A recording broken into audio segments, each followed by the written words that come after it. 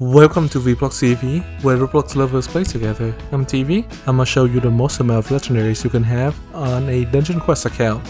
This account has 500 legendary between Desert Temple and Boss Raid. That's right, 500 legendary.